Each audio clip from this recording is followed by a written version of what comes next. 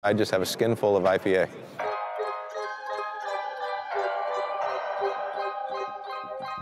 Hi, I'm Brad Friedel. This is my dream Super Bowl.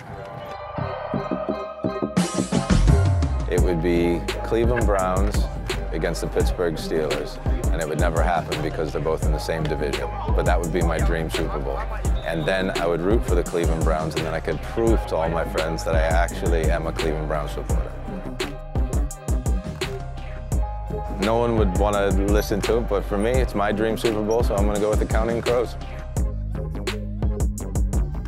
at Cleveland Stadium in the presidential suite, right in the, right at the halfway line. And then I'd go down and venture into the dog pound for about 15, 20 minutes, have a couple of beers with the supporters in the dog pound, and then I'd go back up.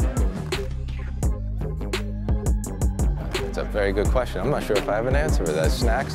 Well, there's definitely got to be IPA. So if we're going to consider that a snack. Um, the only snack that I'd be having if Cleveland Browns were in the Super Bowl at Cleveland Stadium against Pittsburgh, that would never happen with Counting Crows playing at halftime, I'd just have a skin full of IPA.